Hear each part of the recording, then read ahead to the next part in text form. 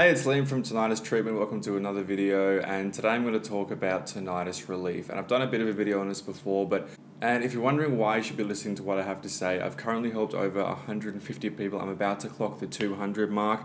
I used to have tinnitus. I got it from noise trauma, helping other people online get rid of theirs. I've helped people with noise trauma, stress, prescription medication, physical injuries, pretty much everything you could imagine. So I'm helping them, so I'm sure I can help you as well. I'm positive I can. So since I've been helping all these people, I'm realizing a common theme between those who get better and those who don't get better. And it's not about the medication they take, it's not about the particular noise in their ear, it's not about their age or gender. It's not about how long they've had it for. It's not about what the doctor says. It's not about the fact that they can't get perfectly clean water. It's not about their height. It's not about their weight. It's not about the size of their feet, the color of their hair, or how bald they are, or anything like that. It's about something more internal, but it's about your mental state. It's, it's about belief. It's about belief that you can stick with the system. Not everybody I help succeeds with my advice. It's just the way that it goes. I'm not a miracle worker. But everybody who fails has one thing in common they give up.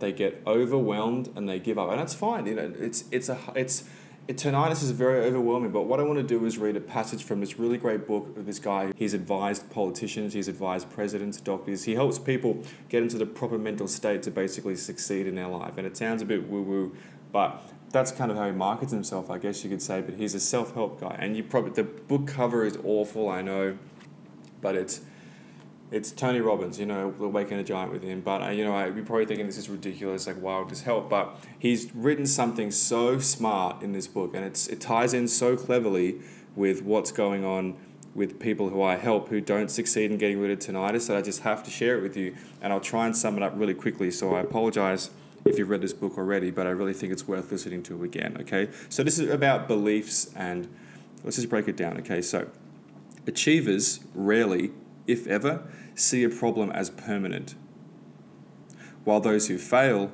see even the smallest problems as permanent. Is this ringing a bell yet? Once you adopt the belief that there's nothing you can do to change something, simply because nothing you've done up until now has changed it, you start to take a pernicious poison into your system that eventually kills you. Now, pernicious means uh, essentially that it's a, it's a slight poison that kills you slowly over time. An example of a pernicious poison would be something like tobacco, smoking for 30 years and dying you know, 10 years after that, or if you worked with asbestos and you worked with asbestos and then 40 years later you had cancer, something like that. Now, this is probably ringing a bell, but I'm going to get to the, the fact where it will actually help you, okay? So, the second difference between winners and losers those who are optimistic and pessimistic see basically what he said they're winners and losers optimistic and i know this is so true because it relates to my story as well um, the difference between uh, those who are optimistic and pessimistic is their beliefs about the pervasiveness of problems now, pervasiveness essentially means how much a problem interrupts your life, okay? It's tinnitus in a nutshell, right? This is literally describing tinnitus. Um, an achiever never sees a problem as being pervasive. That is, that one problem controls their whole life they always see it as, well, it's just a little challenge with my eating pattern. They don't see it as, I'm the problem. Because I overeat, my whole life is destroyed.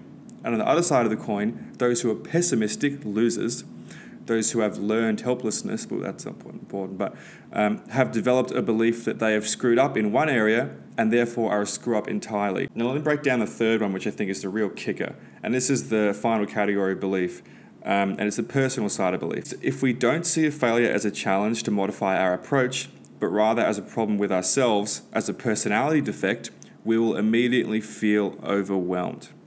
So that's it. Let me break that down real quick and then we'll get to how it's exactly help you. So the personality defect um, idea is that, let's say, for example, you're a drug addict and you take heroin every day with your buddies in the crack house. And every day you wake up and your friends are like, yeah, we should all get heroin let's go spend our money on drugs and get high today and just do nothing else.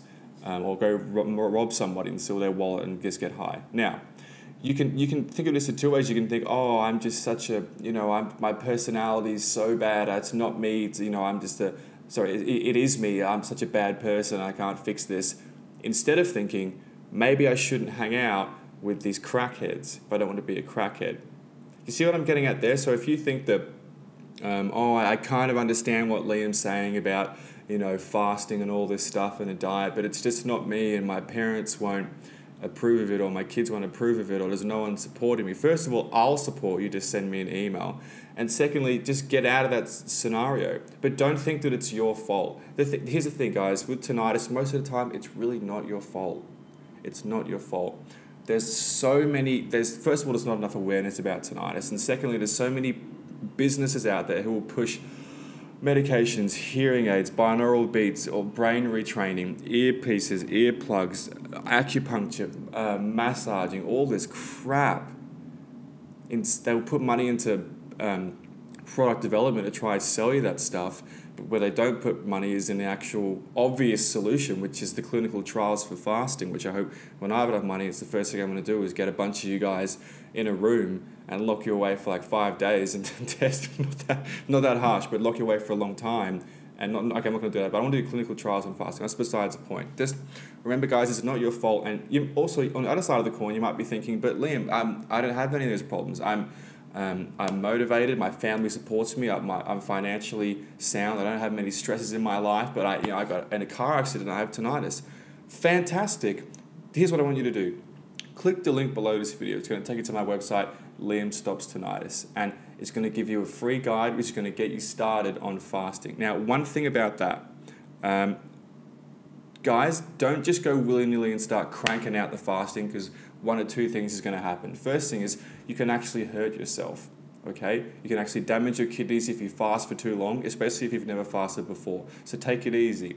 I'll explain more about that in a second. Second thing is you might do it wrong, and you might actually um, get no results at all, even though you think you're doing it right, but you're not, and then you'll get demotivated and you'll say, oh, well, Liam was just, a, he doesn't know what he's talking about, I'm not going to follow his stuff, and then you'll miss out on the chance to get rid of tinnitus. So you could either hurt yourself or do it wrong. So please, I'm going to send you the free ebook, put your email address in, I'll send it to you automatically. I've got this guy to set this whole thing up.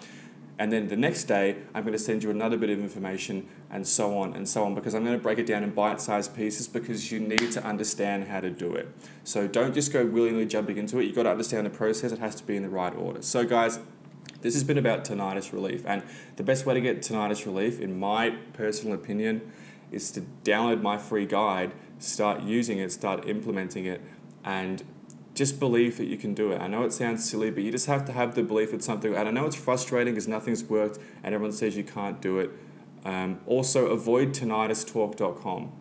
If you want to succeed, you should never, ever, ever, ever go on tinnitustalk.com. That should be illegal, that website. The shit that I see on there, it's just a shitstorm. It should be 100% illegal. The amount, it, you, a person who's optimistic can go on there and just get crushed internally and I'm sure you guys have felt that, that weight on your shoulder of people going, oh, it's just, it's never going to work. And don't trust me, I've posted on Reddit and tinnitustalk.com and all these um, Australian Institute of Tinnitus. People don't want a solution. As soon as I post something like that, they'll just delete it. They'll just delete the whole video. And that's, that's why I did this YouTube channel. But, but besides the point, guys, this has been Tinnitus Relief. I hope this helps.